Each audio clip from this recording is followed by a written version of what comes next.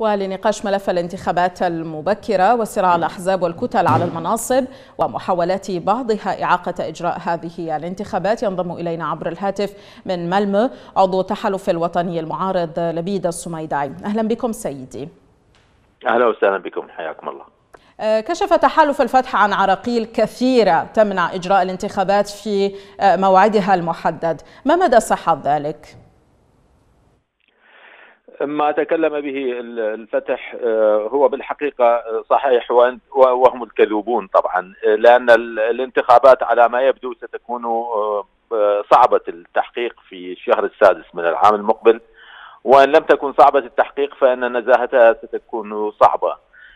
لماذا؟ لعدة أسباب لأن الكتل ما تزال غير متفقة على تعديل القانون الانتخابات الجديد. هذا من ناحية.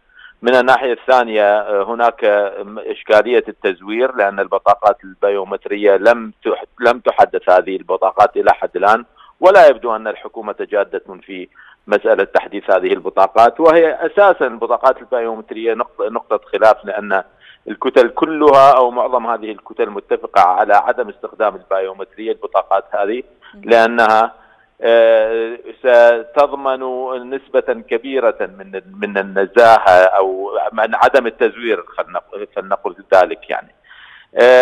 هناك مسألة جدا مهمة بالنسبة لاستحالة تحقيق أو صعوبة تحقيق الانتخابات هي مسألة الوضع المالي الصعب الذي تمر به الدولة العراقية الحكومة غير قادرة على تسديد على سداد الرواتب الموظفين فما بالك ب يجب أن تعمل ميزانية للانتخابات وللجنة المشرفة على الانتخابات وهي ميزانية ضخمة وعملية التنظيم هذه لم يبدأ بها لحد الآن بسبب عدم وجود ميزانية، هناك عدة عوائق وعراقيل تحول دون إمكانية القول بأن الانتخابات يمكن أن تتحقق في شهر السادس العام سيد لبيد هل الوضع الأمني والإنساني للنازحين يمكن أن ينتج انتخابات حرة ونزيهة تعكس إرادة الشعب العراقي كل الشعب؟ بالنسبة للوضع الأمني تحققت انتخابات السابقة خمس انتخابات تحققت في ظل وضع أمني سيء وأسوأ ربما من الوضع الأمني الحالي، العراق حالة أمنية مستمرة لم يستتب الامن يوم الأمن يوما في العراق منذ الاحتلال. آه وبالنسبة للنازحين مشكلتهم مستعصية أيضا آه وجرت مع ذلك جرت في عام 2018 آه انتخابات وكانت وكانوا معظم المناطق أو المحافظات السنية فلنقل ذلك كانوا معظم سكانها سكانها مهجرين في المخيمات ومع ذلك أجروا انتخابات. فهذه الدولة هذه الحكومة وهذا البرلمان لا يبالي بالنازحين وغير النازحين ولا بالملف الأمني. هم يريدون أن يسلقوا الانتخابات كيفما شاءوا.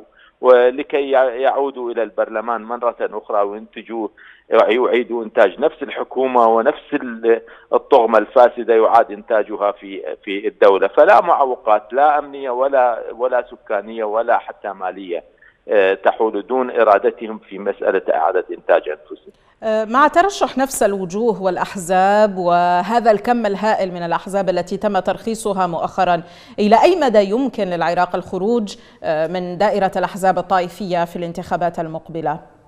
لا يمكن صعبة لا يمكن حتى يعني حتى إذا حققوا هذه التعديلات سمعنا أنه عدد الدوائر سيكون 80 أو 83 دائرة انتخابية وسمعنا بالانتخابات الفردية بدل انتخابات الترشيح الفردي بدل الترشيح النسبي إلى آخره، لكن هذه تبقى ترقيعات، لماذا؟ لأن هناك عده عدة عوامل تجعل الطغمة الحالية والكتل الحالية تعيد نفسها.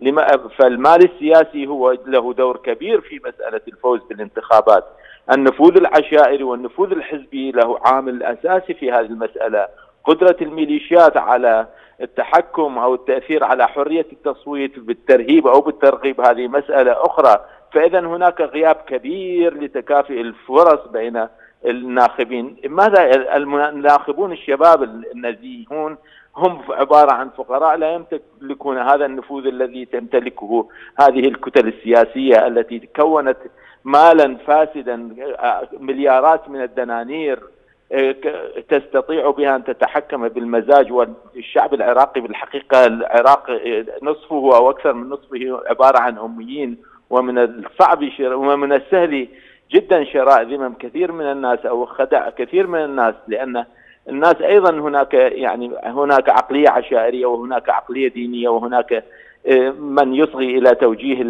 توجيه الشيخ وتوجيه السيد إلى آخره. فمن الصعب مواجهة أو تحدي هذا هذه القوة الهائلة لأصحاب الكتل الكبيرة من قبل شباب يافعين. حاليا نزاهتهم لا تكفي لخوض معركة انتخابية بهذا الحجم. شكرا جزيلا لك عضو التحالف الوطني المعارض لبيد السميداعي. حدثنا عبر الهاتف من مالمو